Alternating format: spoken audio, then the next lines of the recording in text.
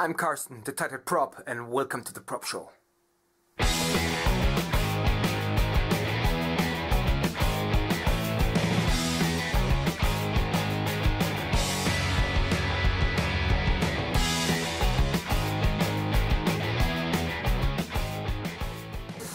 Hello my friends, nice to see you again on my YouTube channel. I'm Carsten, the Tighthead Prop, and welcome to the Prop Show. Um, today I'd like to show you how I painted a model from the company Rubicon Models. Panther G. It's a German vehicle and it is um, more or less, yeah, it is a late war uh, vehicle and I tried to give him a little bit different camouflage. Uh, the company MAN in Germany painted the last uh, 25 tanks uh, in the camouflage colors um, green and red and I tried to bring the colors on the model from Rubicon models. I want to show you now how I painted and I hope you have a lot of fun and enjoy it. See you in a few minutes.